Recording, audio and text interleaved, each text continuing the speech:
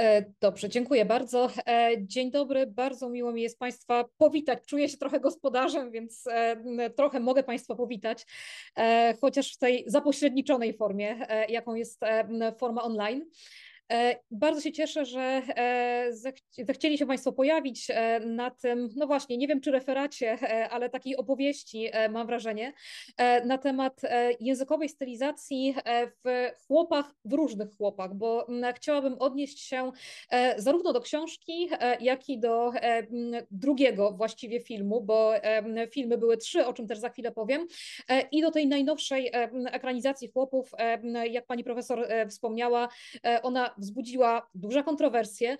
Ja oczywiście e, do wszystkich tych kontrowersji się nie odniosę, e, skupię się tylko na tych e, kwestiach językowych, ponieważ mam wrażenie, że no właśnie, można by było tym nowym chłopom poświęcić zupełnie kilka albo kilkanaście referatów dotyczących konkretnych aspektów, które są krytykowane na różnego rodzaju forach i w różnego rodzaju dyskusjach. I tak jak zapowiadałam w tym streszczeniu, e, chciałabym być może subiektywnie odpowiedzieć na pytanie, a być może właściwie tylko to pytanie postawić. To znaczy, jak rysuje się ta językowa stylizacja i język bohaterów najnowszych chłopów z perspektywy nie tylko e, zgodności tego języka z e, podstawą stylizacyjną, ale przede wszystkim z e, perspektywy odbiorców tego filmu i tego, i tego właśnie języka. E, kiedy patrzymy na e, mm, tekst stylizowany, e, to właśnie patrzymy przede wszystkim na tekst. I ta główna płaszczyzna badawcza, jeżeli spojrzy się na dotychczasowe badania nad stylizacją językową, to są przede wszystkim badania w aspekcie tekstu i tych cech, które w tekście się pojawiają. Badacze porównują więc cechy językowe, które pojawiają się w tekście stylizowanym, czy to literackim, czy filmowym z podstawą stylizacyjną, ale tutaj właśnie na pierwszy plan e, tej analizy wysuwa się e, sam tekst i te cechy stylizacyjne, cechy podstawy stylizacyjnej, które w tym tekście się ujawniają albo właśnie których, których brakuje. Ja chciałabym trochę dzisiaj na potrzeby tej opowieści odwrócić ten schemat badawczy, czy też może nie tyle go odwrócić, e, ile spojrzeć E, na e, teksty chłopów e, przede wszystkim z perspektywy odbiorcy. Oczywiście nie da się mówić tylko o jednej tej płaszczyźnie badawczej, kiedy mówi się o tekście stylizowanym, bo trudno mówić o odbiorze chłopów bez opowiedzenia, jakie cechy językowe w na tych tekstach się pojawiają, ale moim zamierzeniem e, jest dzisiaj właśnie spojrzenie na to, e, jak różne teksty chłopów były odbierane e, przez różnych, różnych odbiorców i pośrednio również na to, jak nadawcy, czyli twórcy czy książki, twórca książki, czy twórcy filmów jakie ich e, cechy indywidualne, jakie ich dzieje życiowe miały wpływ na to, co dostajemy, dostajemy w tekście. E, ja niecałe dwa tygodnie temu też snułam opowieść na temat innego filmu e, i tam zwracałam uwagę przede wszystkim właśnie na ten, na ten aspekt nadawcy. Tutaj ten nadawca pojawi się trochę, trochę obok, a przede wszystkim właśnie spojrzę na to, jak reagowaliśmy i jak reagujemy na te cechy, które w tekście stylizowanym się, się pojawiają. No właśnie, bo to jest tekst stylizowany, e, więc warto zwrócić uwagę e, na to, na co zwracają uwagę też krytycy chłopów. E, ja będę cały czas mówiła w liczbie mnogiej, bo chodzi mi o różne właśnie teksty właściwie tej samej, e, tej samej opowieści. I bez wątpienia, jeżeli spojrzy się na uwagi dotyczące lokalizacji, jeżeli spojrzy się też na pewien koloryt, jeżeli spojrzy się na same informacje, które Raymond podaje w swoim tekście, to za tę podstawę stylizacyjną należałoby uznać gwary, gwary Łowickie. Lipce, dzisiaj już Lipce Rejmontowskie, jak zapewne Państwo wiedzą, znajdują się rzeczywiście niedaleko, niedaleko Łowicza. Jeżeli spojrzymy z perspektywy dialektologicznej, no to będzie to ten obszar gwar łowickich i cech gwar łowickich, które są bardzo niejednorodne i bardzo pograniczne, o czym też za chwilę powiem. Doszukiwali się badacze w tekście stylizowanym w tekście, w tekście Reymonta. Dlaczego właśnie Lipce?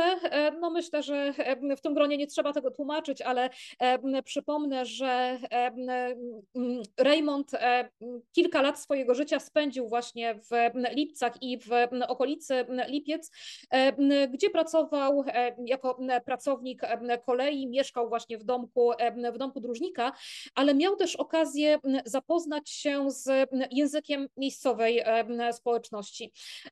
On był też postrzegany jako taki trochę dziwak, który chodzi gdzieś tam z, z notatnikiem, ołówkiem i zapisuje to, co usłyszy, czy też to, co podpatrzy. I rzeczywiście pewne elementy tego, co zobaczył i tego, co usłyszał, znalazły się potem w, w jego chłopach. Dzisiaj Lipce Rejmontowskie żyją trochę Rejmontem, to znaczy po pierwsze jest ten domek dróżnika, do którego niestety nie można wejść, który można tylko obejrzeć z zewnątrz, ale w samych Lipcach znajduje się skansen, znajduje się też Muzeum Ludowe. Więc widać, że ta e, tradycja Reymonta i tradycja chłopów e, faktycznie w tej e, miejscowości jest dzisiaj bardzo, bardzo żywotna. Powiedziałam, że gwary łowickie to gwary pograniczne. I ta dzisiejsza moja opowieść to nie jest opowieść dialektologiczna, ale żeby zobaczyć, żeby spojrzeć na to, co znalazło się w tekście chłopów, warto uzmysłowić sobie, jakie cechy wyróżniają gwary łowickie na tle języka ogólnego, ale też na tle tle inny gwar, a przede wszystkim to, co sprawia, że gwary łowickie, no właśnie, mogą być postrzegane jako swoje zarówno przez mieszkańców e, Mazowsza, jak i przez e, mieszkańców e, Małopolski, ponieważ wydaje się, że ta perspektywa swojskości, to znaczy tego odniesienia do tego, co nasze, odgrywa tutaj bardzo ważną rolę, jeżeli spojrzy się na to, jak potem odbieramy teksty, czy ten tekst pisany, czy ten tekst filmowy, audio, audiowizualny. Jeżeli chodzi o przynależność bar łowickich, to badacze nie byli zgodni co do tego, gdzie je właśnie przypisać, to znaczy e, znajdujemy w różnych podziałach różną próbę przypisania gwar łowickich, czy to właśnie do gwar mazowieckich, czy do dialektu małopolskiego. Tutaj Państwo widzą e, dwie mapy. E, pierwsza mapa to trochę unowocześniona, znaczy, ale unowocześniona tylko pod kątem kolorów, e, mapa Kazimierza, Kazimierza Nicza, który z jednej strony zaliczał właśnie gwary łowickie do Mazowsza, jak Państwo widzą, tutaj jest zaznaczone jako narzecze mazowieckie, ale w pierwszym wydaniu swoich tekstów gworowych wspomina właśnie o tym, że e, wcale to nie jest takie, taki jednoznaczny podział. I rzeczywiście w tych nowszych badaniach dialektologicznych, również w przewodniku pani profesor Haliny Karaś, do którego też się jeszcze dzisiaj e, odwołam, te gwary łowickie znajdują się w obrębie gwar mazowieckich, ale jak na przykład Państwo zobaczą na mapie w encyklopedii języka polskiego, na tej mapie Mariana Kucały, Gwara Łowicka znajduje się w granicach e, dialektu małopolskiego.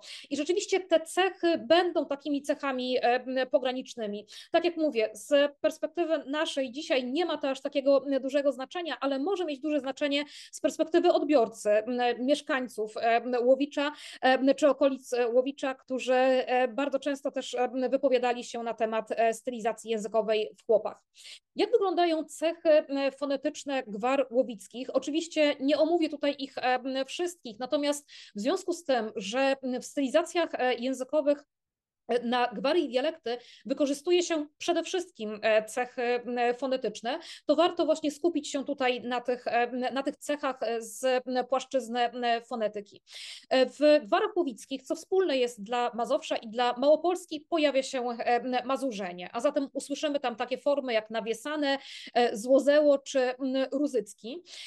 I co ciekawe, albo może nie będę uprzedzać, jak wygląda mazurzenie, mazurzenie w popach, ale ta pierwsza e, sztampowa, można by było powiedzieć cecha, e, niekoniecznie znajduje swoje odzwierciedlenie w tych tekstach e, stylizowanych. Z Małopolską łączy gwary łowickie chociażby obecność opochylonego.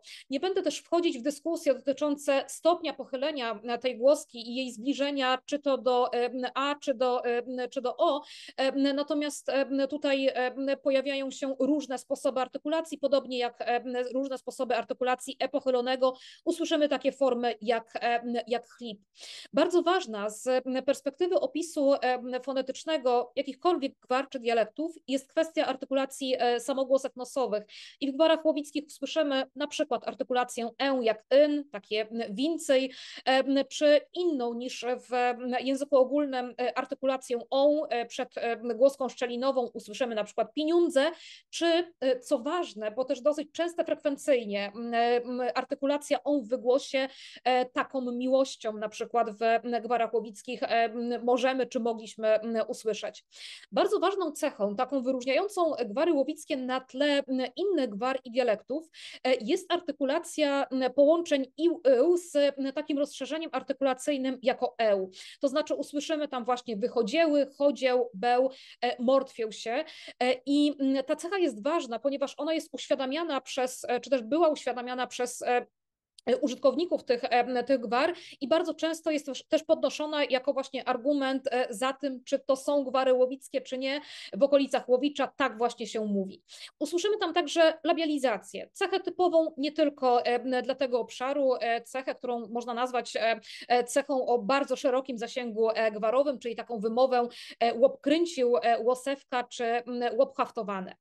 Ważne są też cechy fleksyjne, które pojawiają się w gwarach utworach łowickich. E, one się bardzo często nakładają też na cechy, na cechy fonetyczne, jak na przykład taka twarda wymowa końcówki amy, a nie ami e, w narzędniku liczby mnogiej, czyli takie chmuramy, kwiotkamy czy zaśwyniamy. To łączy gwary łowickie z gwarami dialektu e, mazowieckiego. Mamy też taką cechę ogólnogwarową, jak końcówka ów w dopełniaczu liczby mnogiej rzeczowników bez względu na ich rodzaj, czyli, taką, czyli takie postaci typu chmurów, świecidełków czy czy jojków. E, z perspektywy fleksyjnej e, często wykorzystywaną cechą jest też pomijanie przyrostka nę, wykorzystywaną potem w tekstach stylizowanych, czyli takie formy jak e, wycisło, wyciągło, a nie na przykład wyciągnęło. I archaiczna końcówka wa w... Nie, chyba łączy tak bo... No dobra, w pierwszej osobie liczbę mnogiej czasu przeszłego, e, to też jest taka bardzo e, znacząca, znaczy bardzo wybijająca się e, cecha, którą chętnie wykorzystujemy, jeżeli stylizujemy cech, jeżeli stylizujemy język nie tylko na gwary łowickie, ale, ale w ogóle.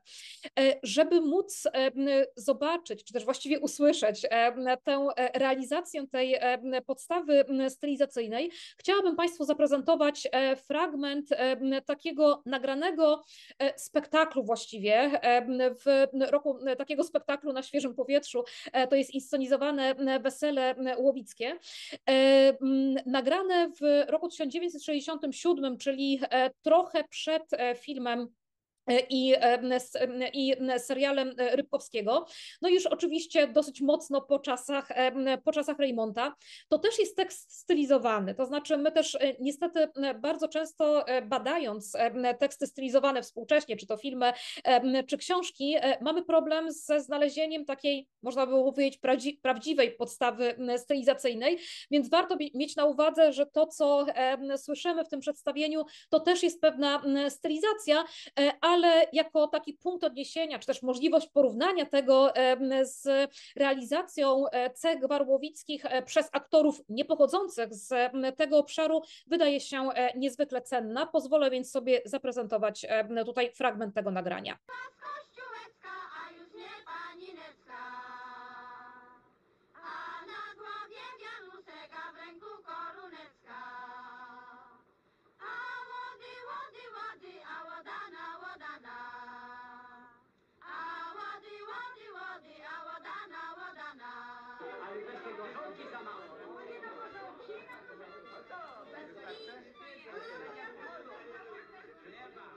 Jaguś, kontentna jesteś, co?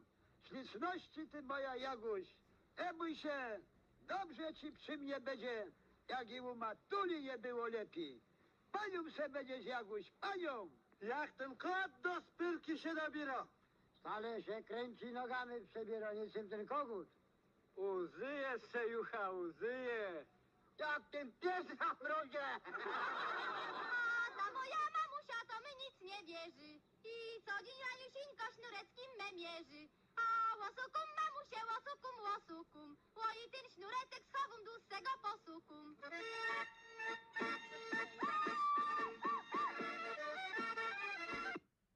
No właśnie, i dalej już mamy piękne tańce i śpiewy, śpiewy łowickie, e, ponieważ warto tutaj e, podkreślić, że ta, e, ten tekst, ten fragment, który, którego mogli Państwo wysłuchać czy też obejrzeć, to jest właśnie wesele, no właśnie wesele Boryny, odgrywane przez zespół ludowy z Lipiec Rejmontowskich, który nazywa się właśnie tak jak sam tytuł spektaklu, czyli Wesele Boryny.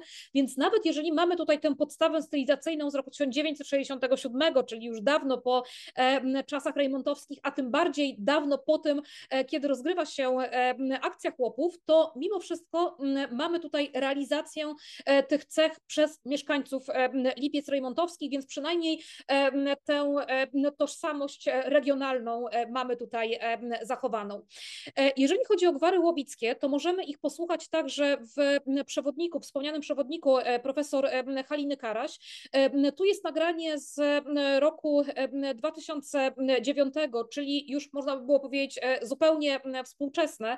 Natomiast ono świadczy o tym, że e, gwar łowickich nadal możemy posłuchać, tak? Że to nie jest tak, że te gwary e, zupełnie odeszły, tak, z e, tymi najstarszymi e, mieszkańcami wsi, ale że, e, że możemy jeszcze e, jeszcze gdzieś je usłyszeć. Oczywiście ten język e, osób, które mówią, e, czy nawet też stylizują, bo bardzo często to są takie opowieści, w których czuć ten e, pewne elementy stylizacyjne, jest językiem, no właśnie, anachronicznym trochę z takiej perspektywy porównywania tych różnych podstaw stylizacyjnych, ale jak Państwo widzą na transkrypcji, mamy tutaj te cechy, o których wspominałam, tak, czyli jest ta labializacja, tak, bo jest to em, odjeżdżało, em, mamy em, chowejta, tak, mamy kiej, to kiej się będzie bardzo często pojawiało w różnych, w różnych wersjach chłopów, E, to znaczy mamy tutaj zarówno te cechy fonetyczne, fleksyjne, jak i leksykalne, o których jeszcze tutaj dzisiaj nie, e, nie wspominałam, ale do których też się odnoszę. Przejdźmy może do pierwszego tekstu, czyli tego tekstu e, stylizowa- stylizowanego, jakim jest powieść Władysława Stanisława m, Rejmonta. Powieść, która powstawała przez e, wiele lat, która, jak Państwo wiedzą, była m, drukowana w, w odcinkach, powstawała na początku XX wieku, ale jej- akcja rozgrywa się jeszcze w wieku XIX. Można by, by się było zastanowić właśnie z perspektywy kompetencji stylizacyjnej, stylizacyjnych nadawcy, w tym wypadku e, jakie kompetencje miał Raymond do tego, żeby stylizować e, język swoich e, bohaterów, czy też w ogóle język swojej powieści na gwary łowickie. Nie urodził się w okolicach Łowicza, e, urodził się w m, dzisiejszym województwie, e, znaczy w ówczesnym województwie łódzkim w, e, we wsi e, Kobiele Wielkie, ale tak jak e, wspomniałam, przez e, kilka lat przebywał w Lipcach Rejmontowskich i, i e, okolicach. Raymond był też takim człowiekiem, można by było powiedzieć, wielu talentów, to znaczy niedoszły organista, ale też bardzo e, dzięki temu wyczulony na pewne elementy muzyczne i to nie tylko mówię tutaj o muzyce ludowej, ale też na pewne elementy mm, foniczne, fonetyczne mm, języka.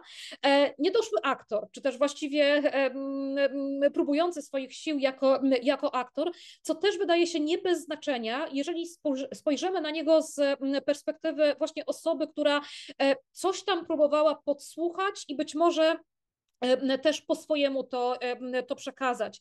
E, Czyli z jednej strony mamy, można powiedzieć, takie kompeten- kompetencje nabyte Reymonta, e, natomiast nie posługiwał on się e, gwarą łowicką, a jeżeli się posługiwał, to tylko w jakichś takich właśnie e, kontekstach e, stylizacyjnych, ale nie był to jego język, tak? On też, on ten język też e, naśladował, miał bierną znajomość e, zapewne tej gwary przez kilka lat, kiedy e, przebywał w Lipcach i okolicach, ale, e, ale na pewno nie był jej jej czynnym użytkownikiem.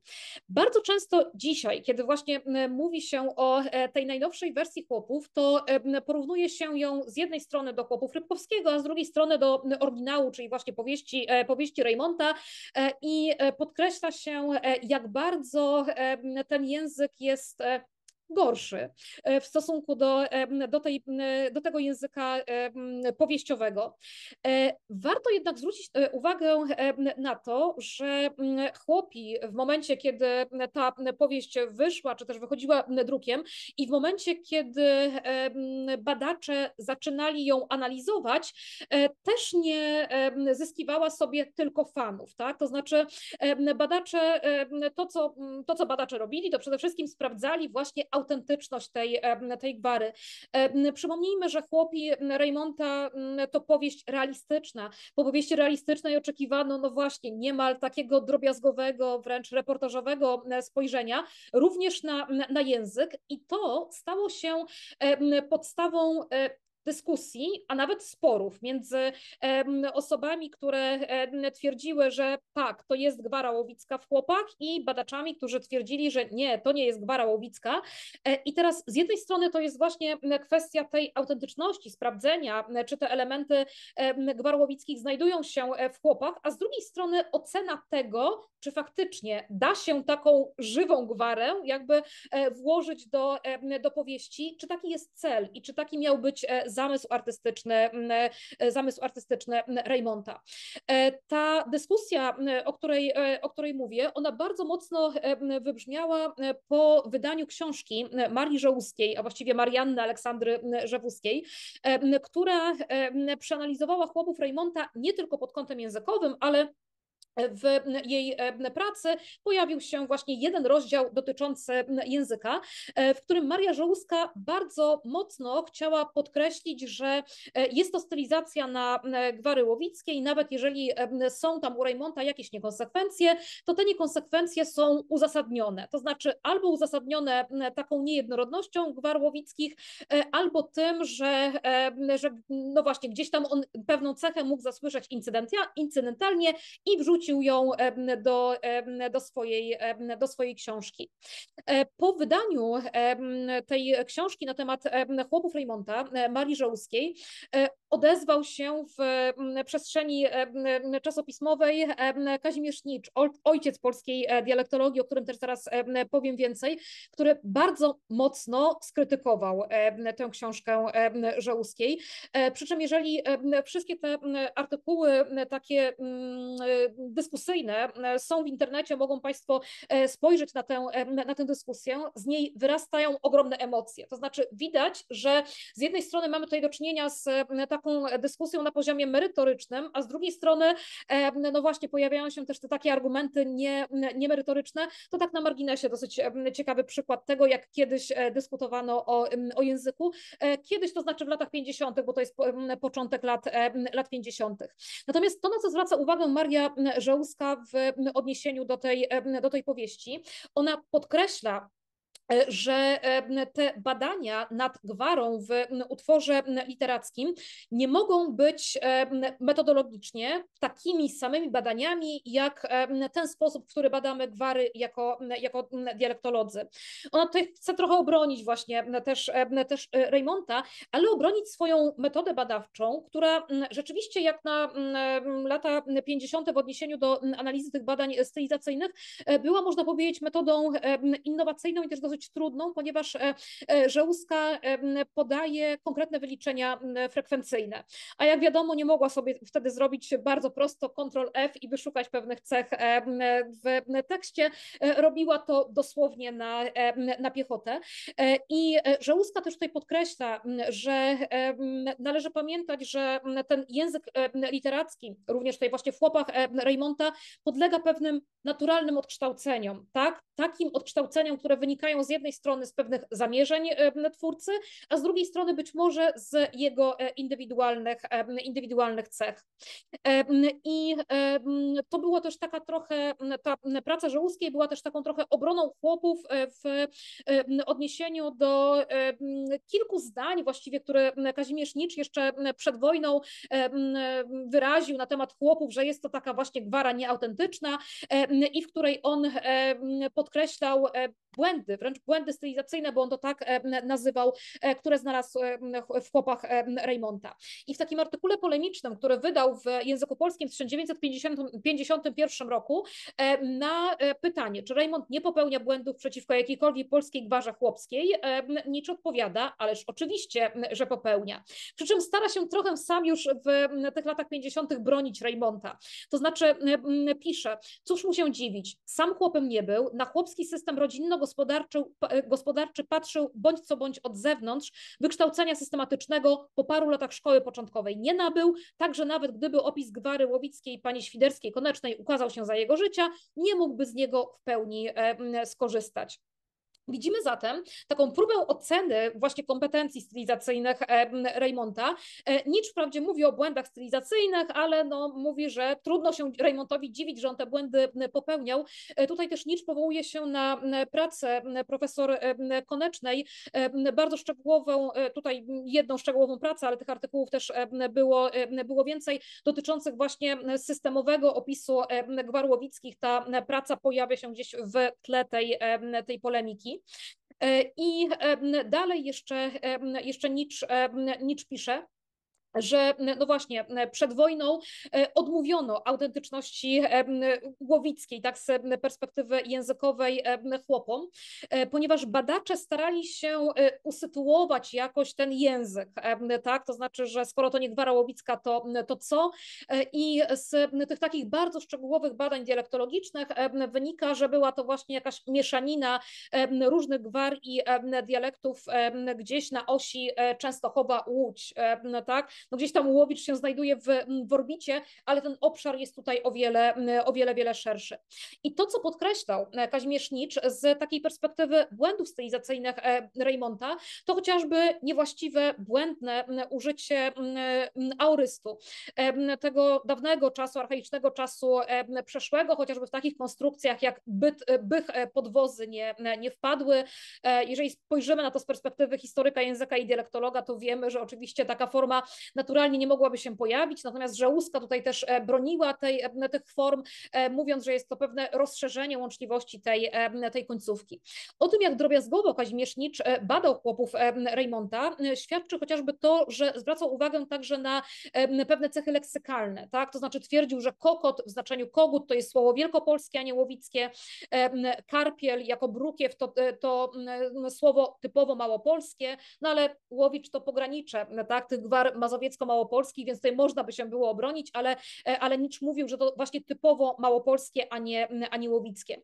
Krytykuje też e, archaiczne końcówki czasu przyszłego i teraźniejszego, takie jak Zrobim, twierdząc, że to z kolei typowo mazowieckie, a nie łowickie i, e, i kiedy on badał, no właśnie, bo on też e, nagry, znaczy nie nagrywał, notował gwary łowickie, to takich końcówek tam, tam nie znalazł. Zwraca, zwracał też uwagę na to, że Raymond nie do końca znał takie cechy pragmatyczne języka Lipiec, Raymond, lipiec, no właśnie, czyli lipców, ale jeszcze nie rejmontowskich. To znaczy w jednej ze scen w Chłopach Rejmonta pojawia się takie, takie zdanie, gdzie tam Kuba broni się, e, a dyć nie bijcie, a dyć nie bijta gospodarzu. I Żałuska mówiła, broni, broniła Rejmonta, mówiąc, że są to e, cechy wynikające to właśnie z, pewnej, z pewnego emocjonalnego podejścia e, bohatera do tej sytuacji. Natomiast Kazimierz Nicz twierdził, że nigdy chłop właśnie właśnie Łowicki nie użyłby tych form wymiennie, tak? czyli dawnej formy liczby mnogiej i dawnej formy liczby podwójnej. O tym, że Raymond nie do końca rozumiał pewne stosunki takie też społeczne dawnej wsi e, łowickiej, e, miały zdaniem Nicza świadczyć takie formy jak Gulbasowa, Borynowa, e, które zdaniem Nicza w języku użytkowników gwarłowickich mogły się pojawić tylko w takim kontekście opisowym typu Gulbasowa, żona, Borynowa, żona. Natomiast bez tego określenia rzeczownikowego Nicz notował tylko Gulbaska Borynina. Skoro używa Raymond takich form typu Gulbasowa, Borynowa, to znaczy, że nie do końca znał te, te realia wsi, wsi łowickiej. Natomiast też bronił się potem w pewnym momencie Nicz, mówiąc, że on nie starał się zakwalifikować tego, tego języka, tak? że to była pewna ocena właśnie z, takie, z takiego stanowiska lingwisty, dialektologa, ale absolutnie nie przesądzało to o tym, że on nie poważał chłopów e, Raymonta, czy też, że e, zupełnie dyskwalifikował tę gwarę jako pewną, jako pewną e, stylizację i powołuje się tutaj jeszcze na swoje słowa z roku 1911, że jest to ogólny ton mowy chłopskiej pochwycony, jest to na ogół dobrze, miejscami nawet doskonale. Widać zatem, że no właśnie, tutaj jeżeli weźmiemy pod uwagę pewne cechy dialektologiczne, no to nie będziemy mieć tej, tego realizmu, ale jeżeli weźmiemy pewien zamysł artystyczny, to nawet Nicz był w stanie tych chłopów obronić. E, w podobnym duchu wypowiada się e, Antonina Obremska-Jabłońska, to jest też badaczka, która w latach 50. pisała o, o języku chłopów. E, no właśnie pisała, że mimo nieautentyczności ze stanowiska naukowego Gwary w chłopach, jest to niezaprzeczalny dokument żywotności tego dzieła. Tak? Znaczy w ogóle to, że my o tej gwarze jeszcze nadal też dyskutujemy, pokazuje, że był to ważny ważny element tego, e, tego tekstu literackiego. Powiedziałam, że e, chłopów filmowych mamy właściwie trzy wersje e, i faktycznie mieliśmy trzy wersje, tak? To znaczy w, pierwsza ekranizacja chłopów została zrealizowana jeszcze za życia Raymonda. W roku 1922 zrealizował ją Eugeniusz Modzelewski. Tutaj mają Państwo tak zwaną listę płac, czyli obsadę aktorską i informacje na temat tego, e, na temat tego filmu. Niestety film nie zachował się do czasów współczesnych, nie zachował się nawet fragment tego, tego filmu.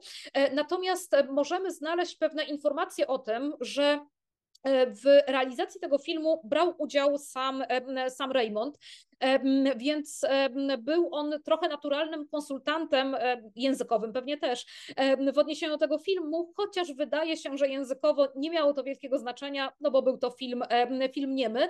Natomiast sam Raymond e, z, potem, kiedy wypowiadał się na temat tego, tego filmu, kiedy już e, po otrzymaniu Nagrody Nobla dostał propozycję nagrania chłopów we Francji, to nie był do końca przekonany co do tego medium e, artystycznego, jak jakim był, jakim był film. W Polsce zrobili, wyświetlali, ale tak nędznie, iż film nie miał powodzenia i sromotnie upadł. E, I rzeczywiście nie, nie zyskał sobie ten film, ten film poklasku. E, zachowało się trochę fotosów z, z tego filmu, natomiast tak jak mówię, żadnej wersji, nawet fragmentu tego filmu niestety nie mamy. Mamy natomiast serial i film Rybkowskiego, który stał się trochę takim tekstem e, to znaczy, kiedy my myślimy i mówimy o chłopach, to e, część z nas mówi właśnie o chłopach Raymonta, a część z nas e, mówi o chłopach e, Rybkowskiego, czyli o tym najpierw serialu, a potem filmie z lat 1972-1973. Chciałabym spojrzeć na, na, ten, na te teksty właśnie z perspektywy kompetencji stylizacyjnej ich nadawców. To znaczy, z jednej strony autorem scenariusza do serialu do filmu e, był sam reżyser Jan e, Rybkowski, który nie pochodził z Łowicza ani z Podłowicza, e, urodził się w Ostrowcu Świętokrzyskim w roku 1912.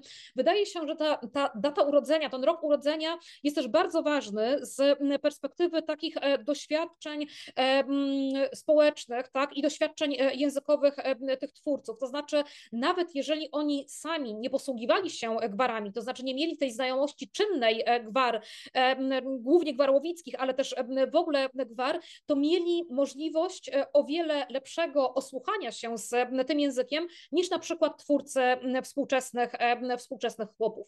Podobnie gwarą nie posługiwał się odtwórca Boryny, czyli Władysław Hańcza, a właściwie Władysław Tosik, który zmienił nazwisko na potrzeby swojego wyrazu artystycznego. Artysta, który urodził się w roku 1905, czyli jeszcze starszy niż, niż Rybkowski, urodził się w Łodzi. Artysta, który miał bardzo gruntowne wykształcenie, wykształcenie aktorskie. W momencie, kiedy powstawali chłopi, on już był, no nie chcę powiedzieć u schyłku swojej e, kariery, ale właściwie kilka lat potem e, zmarł, więc miał, miał już na swoim koncie wiele ról. E, był też takim aktorem bardzo, bardzo poważanym. Był też aktorem, który nauczył się stylizować, ponieważ chłopi powstają już po samych swoich, a, a tam, no właśnie, w pierwszej części trylogii Chęcińskiego Władysław Hańcza nie potrafił stylizować, e, a potem dopiero się nauczył. To ważne, bo nawet jeżeli pominiemy ten aspekt, jaka to podstawa stylizacyjna jest tutaj, pojawia się tutaj w, w tych filmach, e, to widać, że Władysław Hańcza miał możliwość eksperymentowania z różnymi odmianami języka polskiego, e, co być może przełożyło się też na jego, na realizację pewnych cech gwarowych w, w chłopach. Filmowa Jagna, do której porównywana jest ta współczesna, znaczy współczesna, ta najnowsza Jagna, e, czyli Emilia Krakowska, również nie pochodziła z Łowicza czy z okolic Łowicza, urodziła się w roku 1940 w Poznaniu i wielokrotnie tę swoją poznańskość e, podkreślała, wielokrotnie też wracała do tych swoich czasów e, młodości i, i dzieciństwa. I w jednym z takich wywiadów sprzed kilku dosłownie, dosłownie lat została zapytana o gwarę poznańską i odpowiedziała, że oczywiście że mówi gwarą poznańską, aczkolwiek nie, nie zaprezentowała tych swoich umiejętności w, w tym wywiadzie. Natomiast e, ona też pokazuje pewną swoją, e, pewną świadomość e, językową i taką świadomość dotyczącą zróżnicowania języka. I to też wydaje się bardzo ważne z perspektywy aktorki, która musiała, czy też która została zaangażowana, notabene jak się okazuje przez przypadek, ponieważ tę, tę rolę miała grać Magda Zawadzka, która właśnie została poproszona o to, żeby, żeby grać chłopkę, grać, grać Jagnę. I te jej wypowiedzi na temat języka pokazują tę świadomość, to wyczucie też na pewne niuanse językowe, co prawdopodobnie ułatwiło jej też realizację gwar, gwar łowickich w, w chłopach. Mm, filmowy Antek, czyli Ignacy mm, Gogolewski, mm, urodzony w Ciechanowie, e, ale przez wiele, wiele lat mieszkający w, w Otwocku, w każdym razie związany tutaj z e, Mazowszem bardziej, e, bardziej centralnym. Też aktor, który w momencie, kiedy występował w chłopach, e, miał na swoim koncie e, sporo ról, e, również takich mniej lub bardziej stylizowanych i też aktor z ogromnym wyczuciem takim, takim językowym i z taką dużą świadomością podejścia do, do warsztatu, zresztą potem wykładowca w szkołach, w szkołach filmowych. Filmowy Mateusz, czyli Tadeusz Janczar, też warszawianin, ale też z warszawianin z ogromnym wyczuciem językowym, można można by było powiedzieć, aktor bardzo uznany, aktor też e, w momencie, kiedy występował w chłopach, miał na swoim koncie wiele różnych ról i też z różnymi językami e, mógł się, e, mógł się osłuchać. Tym bardziej Barbara Ludwiżanka, czyli filmowa Jagustynka, urodzona prawdopodobnie w 1908 roku, bo tutaj są wątpliwości, w Stanisławowie, czyli na Kresach, tak, więc też aktorka, która znała chociażby gwary czy, czy dialekty kresowe, mająca dużą świadomość tego zróżnicowania językowego, językowego polszczyzny. Czy Dominikowa Jadwiga Chojnacka, właściwie Jadwiga Linde, urodzona w Warszawie w roku 1900. Te fakty, właśnie tak jak powiedziałam, rok urodzenia i te fakty dotyczące pochodzenia aktorów wydają się tutaj bardzo ważne z perspektywy tego, jak oni podchodzili do do języka. Niestety nie dotarłam właśnie do takich relacji dotyczących tego, jak powstawał język w filmowych chłopach, bo czasami takie, takie relacje reporterskie mamy, tutaj, tutaj tego, tego nie ma, więc jest to trochę stawianie pewnych hipotez, ale wydaje się właśnie, że moment, e, kiedy chłopi powstawali i, czasy, w których e, żyli, urodzili się aktorzy i twórcy chłopów, e, miał tu, miały tutaj ogromne znaczenie z perspektywy tego, co my potem dostajemy jako odbiorcy tego filmu. Ale właśnie, odbiorcami tego języka, chłopów z roku 1972 i 73 jesteśmy nie tylko my, bo byli nimi także mieszkańcy Lipiec. Powiedziałam, że nie zachowały się takie relacje dotyczące tego, jak język chłopów powstawał, ale powstało kilka, kilka reportaży, które pokazywały, jak powstawał ten film. Tak? To znaczy, tam te uwagi dotyczące języka są takimi uwagami trochę obocznymi, e, pobocznymi, ale w jednym z numerów kina bodajże, tak, chyba tego czasopisma, pojawia się właśnie taki reportaż, w którym, w którym reporter wrócił do Lipiec Rejmontowskich i pytał mieszkańców, no właśnie, jak, ta, jak to z tymi e, chłopami, chłopami było. E, natomiast i tutaj widzimy, jak mieszkańcy Lipiec, ci żyjący tam w latach 70., XX wieku, głównie ci, którzy byli członkami tego zespołu Wesele Boryny, tego, który pokazywałam Państwu, państwu wcześniej, jak oni odbierali tę, tę gwarę w filmach, tak? I odbierali w filmie, i odbierali wcale nie tak pozytywnie, tak? To znaczy jedna z tych pań występujących w zespole mówi, aktorzy cuda czynią podobno, dlaczegoż nie opanowali gwary? E, więc widać, że my, my dzisiaj porównujemy właśnie tych nowych chłopów do tych chłopów z 1972 roku, a widać, że e, ta ocena bardzo jest zależna od e, perspektywy, perspektywy również użytkowników tego, e, tego języka. Tak, tutaj dalej też wypowiedź w podobnym duchu, dajmy sobie spokój z tym gadaniem do lampy i butelki, gorzej, że gwary tam nie ma w ogóle. Tak, tutaj też jedna z pań podkreślała brak tej, tej gwary. No i dalej jeszcze jest taka dyskusja, w serialu o Janosiku też nie będzie, bo podhalańska nieczytelna. Wiemy, że była i wiemy, że też wzbudziła duże, duże kontrowersje. Natomiast inna E, z pań właśnie z tego Wesela Boryny wypowiada się w tym duchu, ale nasza czytelna, tak, że ta nasza Gwara Łowicka jest, no właśnie, ludzie by ją zrozumieli, gdybyśmy ją do tego filmu, filmu włożyli. Były więc tutaj zdania podzielone, jak widać, na temat tego języka, a właściwie z perspektywy mieszkańców wsi raczej zdania, zdania krytyczne. Jak to wygląda w tych chłopach najnowszych, czyli z roku 2023 e, z perspektywy twórców? E, czyli swego rodzaju nadawców tego, e, tego języka. E, autorka, czy też współautorka scenariusza do chłopów urodziła się w Bytomiu. Nie jest więc znowu użytkowniczką gwar, gwar łowickich, natomiast ze względu na miejsce urodzenia zdawał, zdaje sobie zapewne sprawę, bo tutaj też niestety nie dotarłam do jej wypowiedzi na temat, na temat języka, ze zróżnicowania językowego polszczyzny.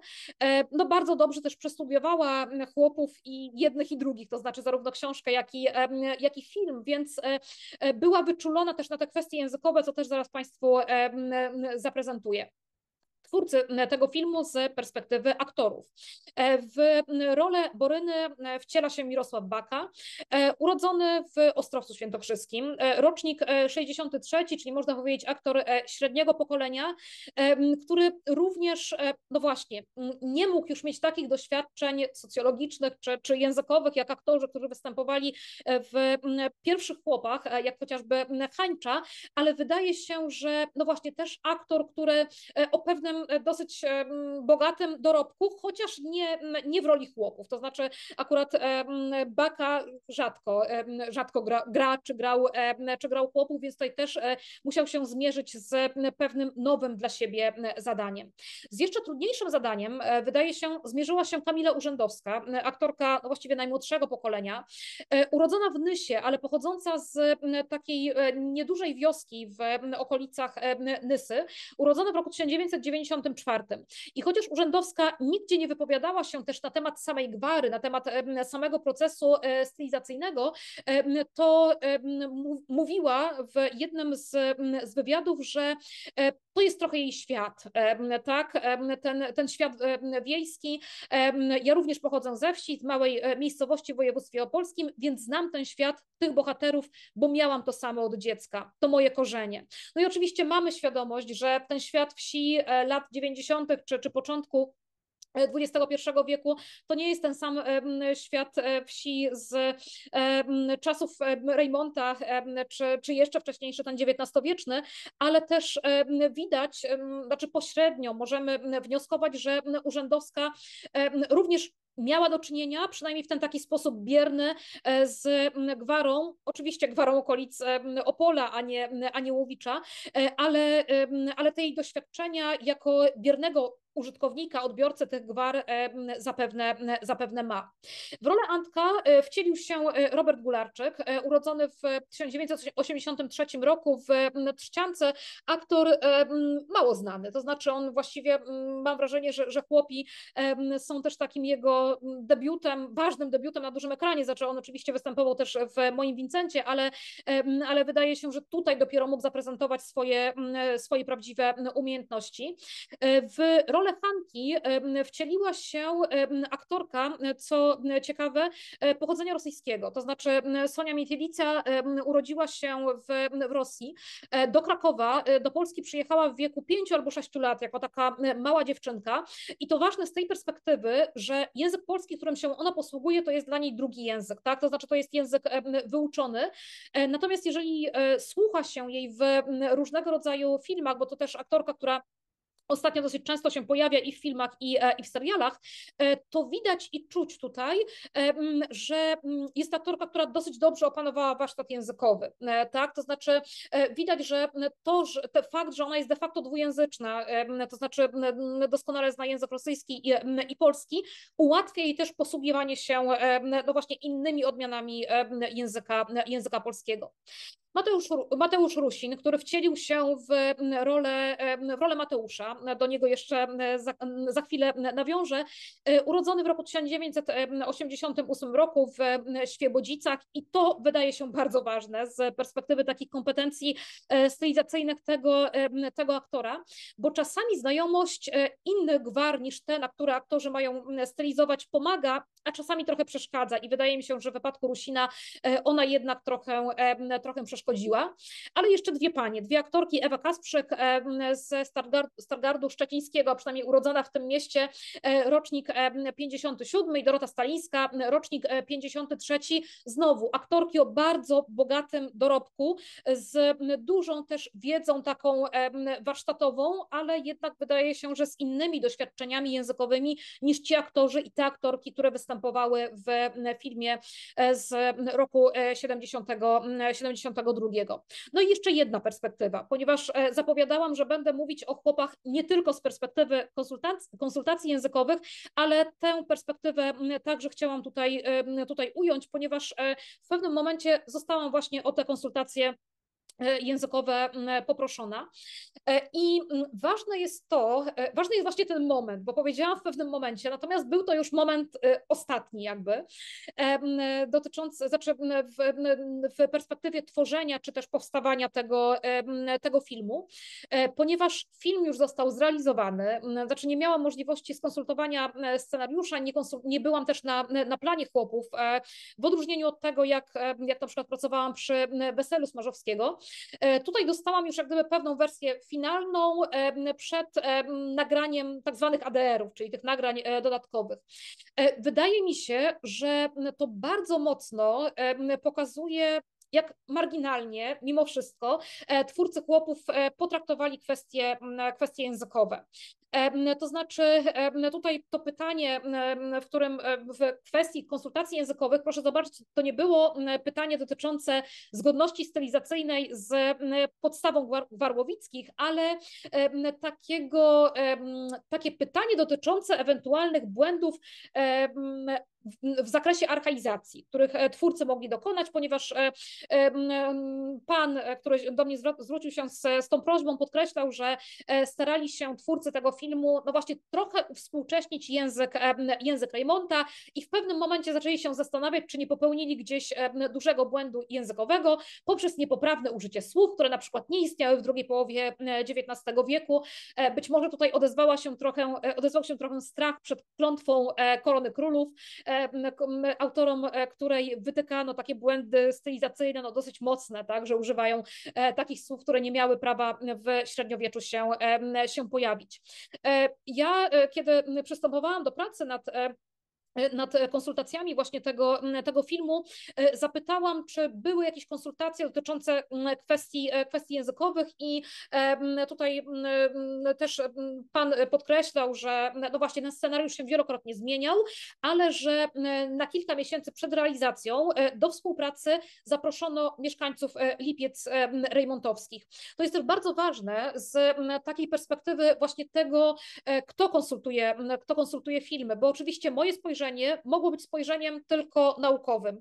Ja nie jestem użytkownikiem gwarłowickich, ani biernym, ani czynnym, tak, to znaczy mogłam odnieść się tylko właśnie do nagrań, do ustaleń Nicza, tak, czy do e, ustaleń Konecznej, natomiast nie, nie jestem użytkowniczką tego języka, więc wydaje się, że tutaj bardzo dobrym posunięciem było e, poproszenie o konsultację właśnie wcześniej e, mieszkańców Lipiec Rejmontowskich, natomiast to, co też zwraca uwagę, to nie, nie wybrzmiało oczywiście tak, tak bezpośrednio, e, ale, mm, ale jest tutaj takie zdanie, tak, reżyserka podjęła jednak decyzję, aby język filmu był e, bardziej współczesny. Mam wrażenie, że też pewne sugestie, na które e, mieszkańcy Lipiec tutaj e, wnosili, tak nie zostały przez, przez twórców scenariusza zaakceptowane, ale to tylko moje hipotezy, bo tak jak mówię, tutaj nie, nie byłam aż tak bardzo włączona w sam proces stylizacji tego, tego filmu. Jak więc pracowałam nad, nad, tym, nad tym językiem? Mm, w założeniu miałam dostać tylko e, wersję audiowizualną, to znaczy taką e, wersję już zmontowaną, e, chociaż z takimi przebitkami. Ja dzięki temu mogłam zobaczyć, jak powstawał ten film tak technicznie, to znaczy to zielone tło za plecami bohaterów, coś, czego my nie widzimy potem, bo widzimy piękne, piękne krajobrazy. Natomiast, no właśnie, dostałam już pewien, można powiedzieć, gotowy, gotowy film, natomiast poprosiłam też o scenariusz, ponieważ niektóre z partii tych dialogowych były nagrane nagrane bardzo słabo, to też się potem pojawi w zarzutach na poziomie odbioru tego, tego języka, to poprosiłam o scenariusz, mogłam więc porównać, jak wyglądały te partie w scenariuszu, a jak potem wyglądały w, w filmie. To była no właśnie któraś już wersja tego, e, tego scenariusza, jak też twórcy podkreślali. E, I e, no właśnie, tak jak mówiłam, porównywałam go z tym materiałem audiowizualnym i naniosłam pewne, pewne sugestie poprawek. To znaczy, ja też miałam świadomość, że nie da się tutaj zrobić już wszystkiego, e, więc starałam się też zwracać uwagę przede wszystkim na e, takie ewidentne błędy stylizacyjne, aczkolwiek wydaje się, że aż, tak dużo ich nie było w porównaniu właśnie, jeżeli, jeżeli zestawimy tych chłopów e, współczesnych z chłopami Rybkowskiego i chłopami Reymonta, to ten język, co zaraz zresztą też Państwu pokażę, on naprawdę jest bardzo podobny, przynajmniej na poziomie takiego zamierzenia. Tak? Inna sprawa to potem jeszcze realizacja fonetyczna tego, tego języka. Natomiast na poziomie pewnego konstruktu językowego my nie mamy tam aż tak wielu różnic, mimo tego deklaratywnego uwspółcześniania. E, to, na co zwróciłam uwagę, jest taka pierwsza scena, w której w której mm, bohaterowie w ogóle zaczynają coś mówić. To jest oczywiście scena z tym, jak, jak zdycha krowa, krowa Borynów. E, I w filmie, znaczy w scenariuszu pojawia się taka konstrukcja, graniasta się wykończyła. Tak więc starałam się sprawdzić, czy to takie sformułowanie, które raczej byłoby no, postrzegane jako, jako współczesne, czy ono, czy ono mogło się pojawić w, w XIX wieku i ze względu na to, że tej konstrukcji, w tym znaczeniu oczywiście, nie notowały ani Słownik Wileński, ani Warszawski, ani Korpus Polszczyzny XIX wieku, ani nie znalazłam w tekstach barowych, to zasugerowałam tutaj, tutaj zmianę. E, jeżeli się patrzy w ogóle na filmy z gwarą, to też można mieć, można odnieść takie wrażenie, że twórcy filmów bardzo często na przykład na początek dają nam dużo tej gwary, żebyśmy mieli takie, odnieśli takie wrażenie, że no właśnie, to, to film z e, bohaterami, którzy mieszkają na wsi, a potem to już tak trochę łagodzą.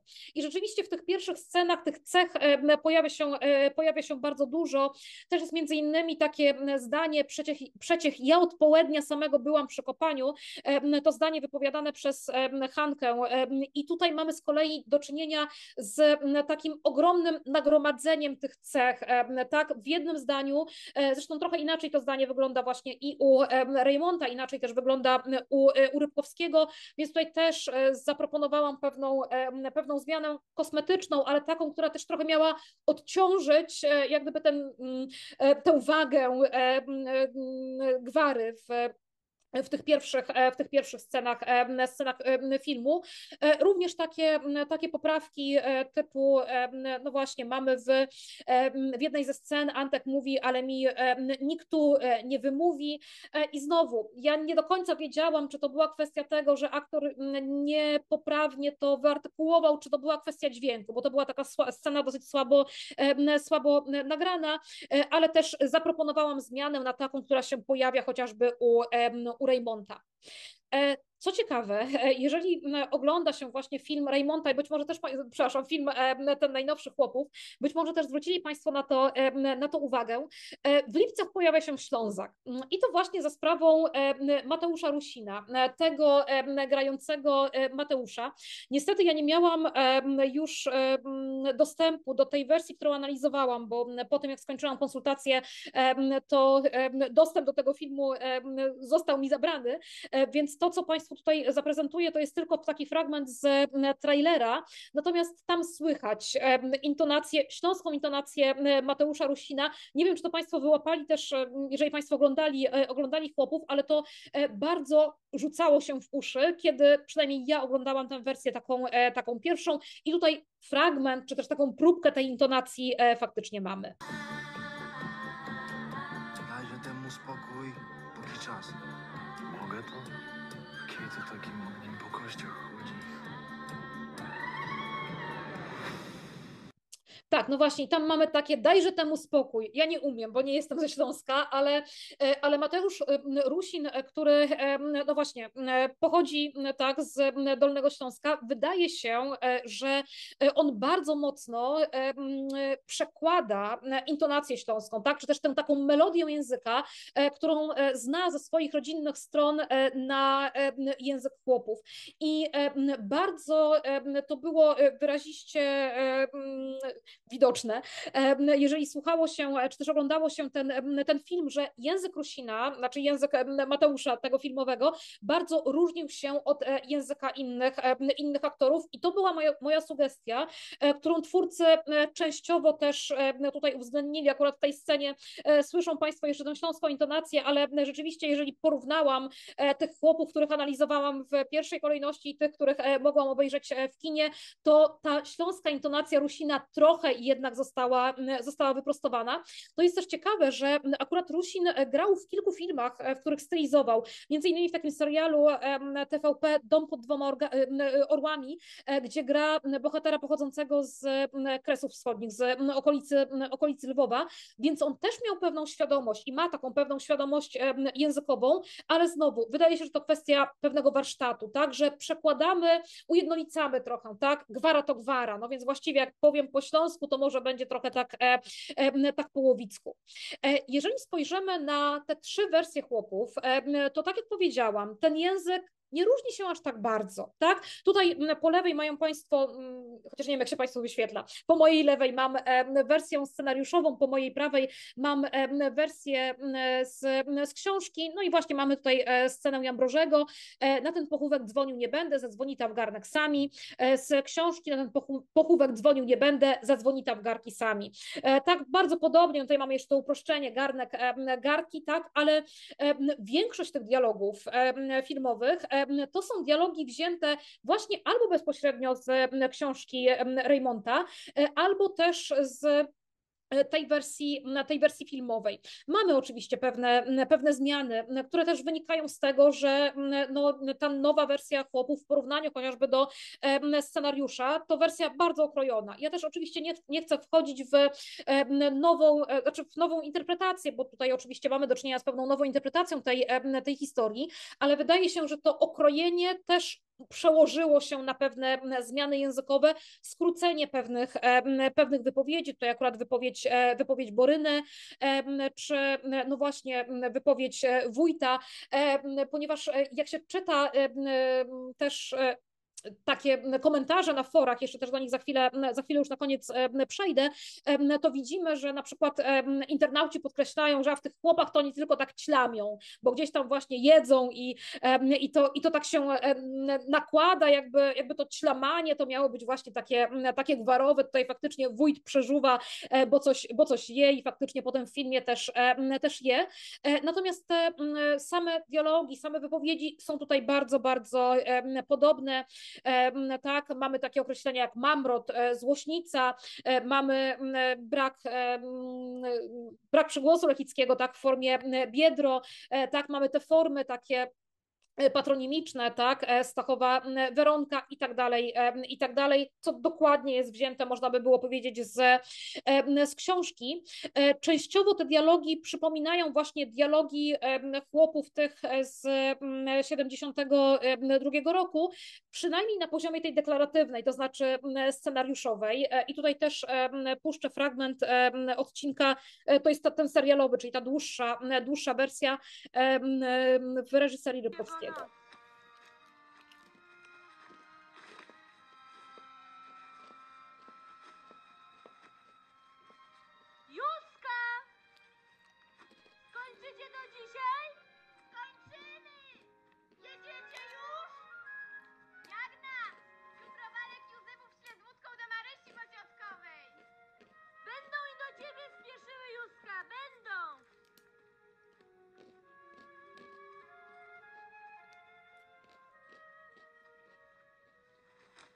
Jak się tatuś z trzecią nie ożenią. Co wam też w głowie? To dopiero matkę pochowali. Jedna jeszcze nie dojdzie, nie ostygnie całkiem, a już się za drugą ogląda. Taki to chłop. My byśmy ojcu nie dali. He, ojcowy grunt to i ojcowa wola. Ostańcie z Bogiem! Jagusia, przyjdziesz do nas obierać? Co? Tak, tutaj jeżeli porównamy tę scenę ze scenariusza tego nowego i z tej wersji filmowej, e, to widzimy no, pewne elementy wspólne, spójne, tak?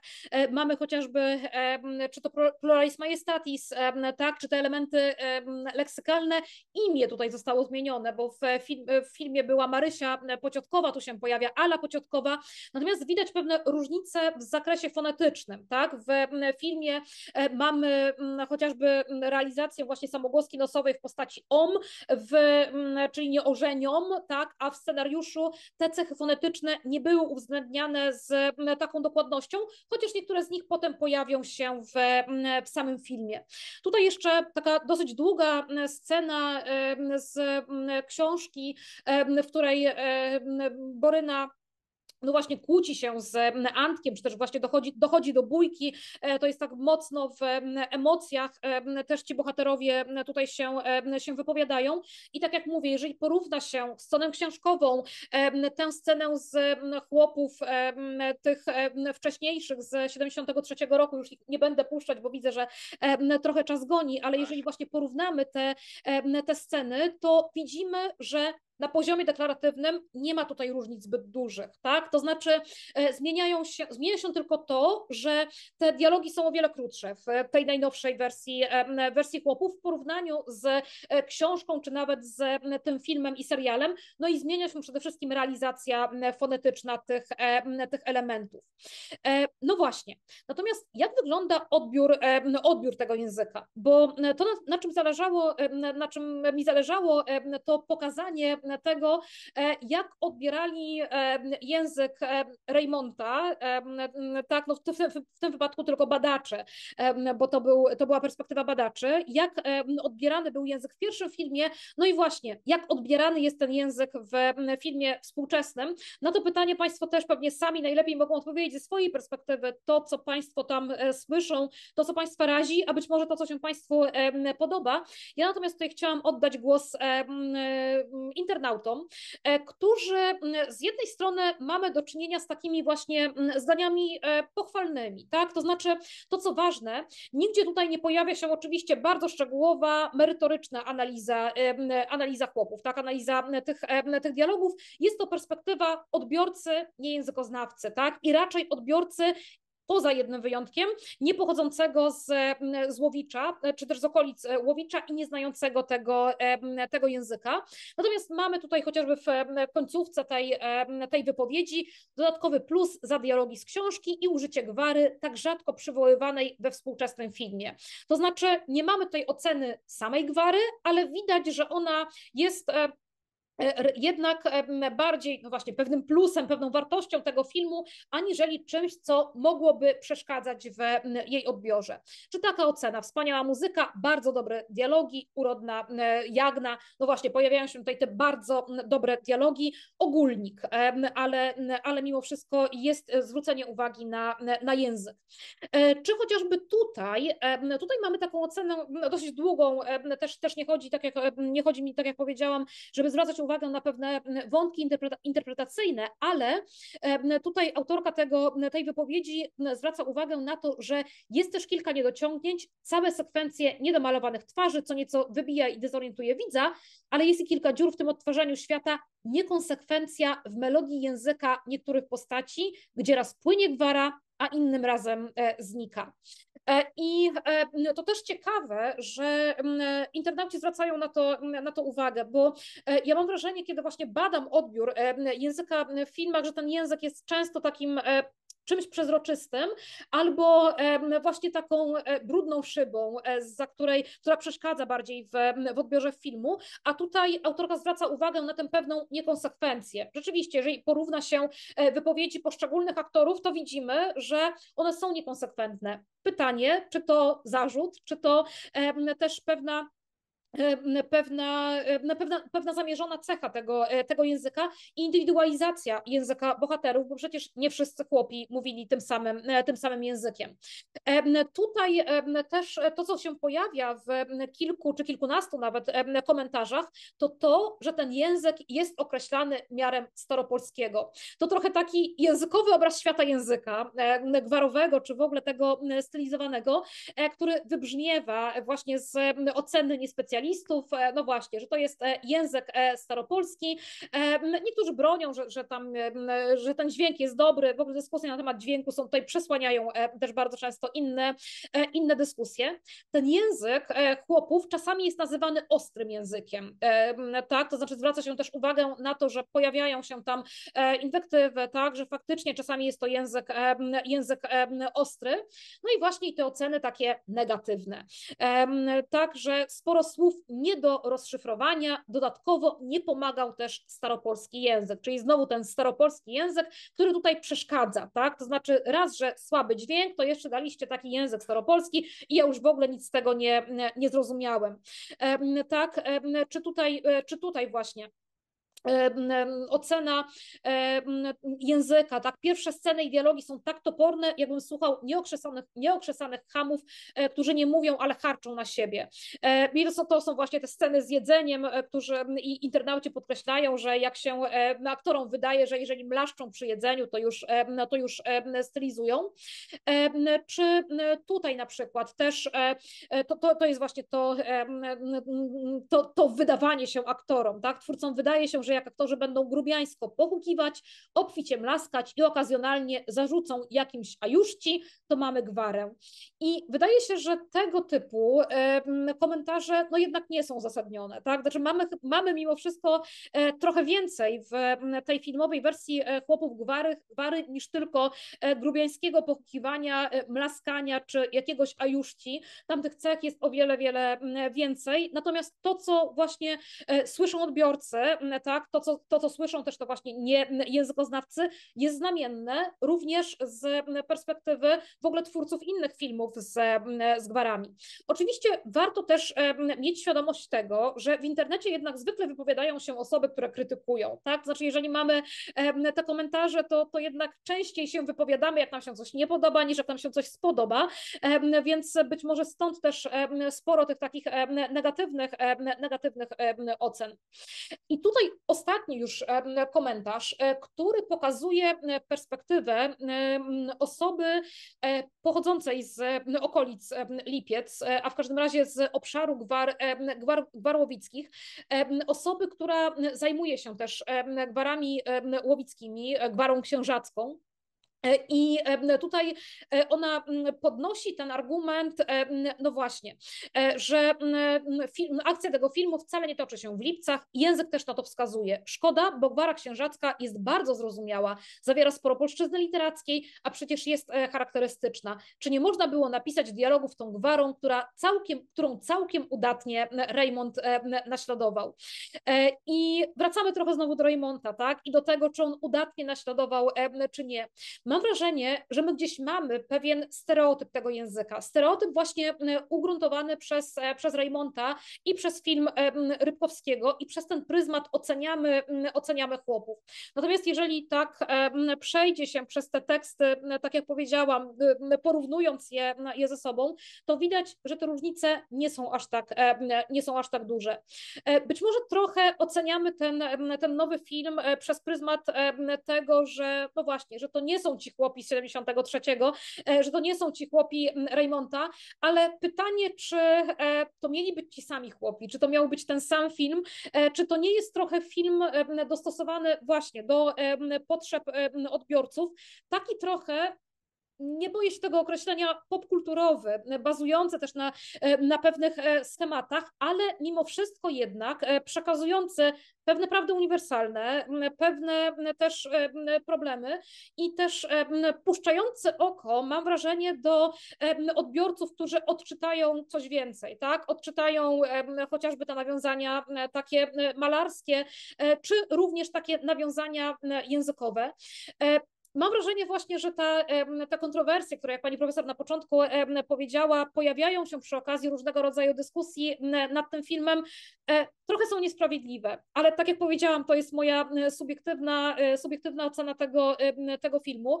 E, jeżeli mam go oceniać z perspektywy takiej językoznawczej, to pewnie powiedziałabym trochę tak jak, tak jak Nietzsche w odniesieniu do, do chłopów Raymonta, że nie mamy tam takiej dokładnej zgodności z podstawą stylizacyjną, ale mam wrażenie, że nie o to chodziło, żeby ten film był taki jeden do jednego e, mówiony gwarą, bo właściwie nie dałoby się takiego filmu e, zrealizować. I mam wrażenie też, że tego typu dyskusje otwierają w ogóle e, dyskusje na temat tego, jak współczesna gwara w filmie powinna wyglądać, ale to już temat na zupełnie inny referat, a za możliwość wypowiedzenia się na ten temat bardzo Państwu dziękuję i oczywiście na wszystkie pytania, jeżeli takie się zrodziły, chętnie odpowiem.